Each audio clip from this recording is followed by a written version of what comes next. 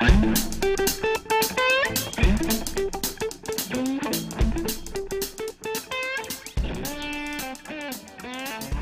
to Johnny on Energy. We're here at the AHR Expo in Dallas, and I'm here with Vince Cavaceno from General Tools and Instruments, and he's got some really cool stuff to show us today that I think you're going to be pretty excited about. The next product that I would like to cover is our new line of thermal imaging cameras, the GTI 10, 20, 30, and 50.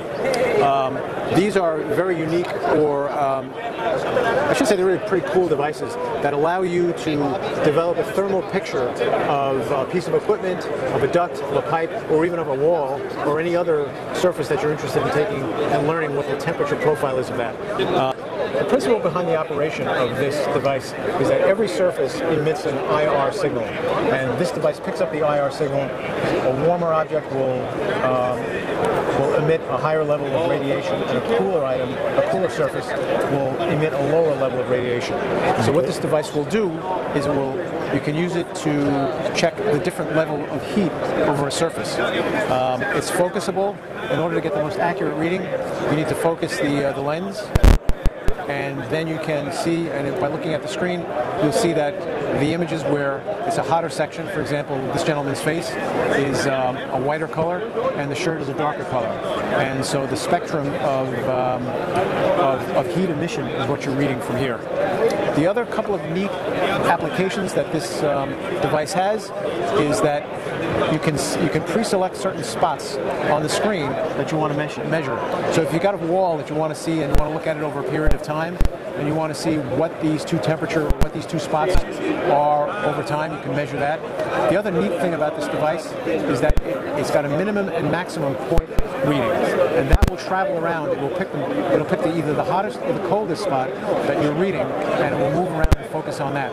So if you're looking at a wall and you want to find out where the hottest spot in the wall is, this uh, indicator there will show what, what it is. Some of the other neat, neat applications of this device is its ability to do what's called picture-in-picture. -picture. So right now we had it on the IR only setting. But what you can do is you can set it so that you get a visible, essentially like a camera, like a video camera, or you can do essentially picture-in-picture, -picture, which would set it up so that if you're in a situation where you want to see, in order to get an accurate reading, you need to frame the section that you're reading around its environment. You can get a, a, a regular video picture, a, a, regular ordinary picture, and then the thermal image will be in the middle. Oh, that's awesome. I've never seen that before. That's a really cool feature. Some of the other things that are interesting with this too is that, um, I'm just going to turn this around for a second, is that it has the ability to, um, it has a, a laser pointer that will point to uh, an area on a wall so that if you want to set it up so that you measure exactly one spot, that can do that. It also has a flashlight, essentially. So if you're going into a dark room where you are not sure what's there, it will light up the room and allow you to work in an area that's lighted, which might have been previously dark. It's a pretty nice tool. Um, and as I said, it comes in four models from a plain vanilla uh, GTI 10, which does not have the which does not have the camera. It has the laser pointer. It's got a fixed lens, all the way up to the GTI 50, which has interchangeable lenses, so that if you've got a long distance uh, measurement that you want to make, you can put a long distance uh, telephoto lens on this and, and really zoom it in uh, quite a distance. So a lot of options kind of meet the need that you're going for in your business or you know your use. Exactly. Um, the other things that are interesting about this is that the battery pack is sort of a standard lithium battery pack. Uh, some of the other items out there um, have proprietary batteries. This is a battery pack you can probably get at most electronic stores. And that's pretty convenient.